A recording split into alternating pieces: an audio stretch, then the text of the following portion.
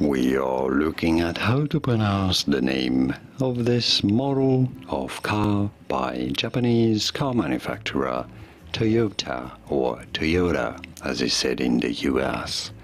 How do you pronounce it? Aygo. I go, as in I go somewhere, because I guess with this car you do go somewhere. Aygo is just uh, like this, really. Very simple.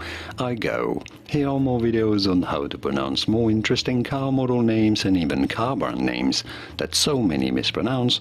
You won't after watching those. I'll see you there to learn more. Thanks for watching.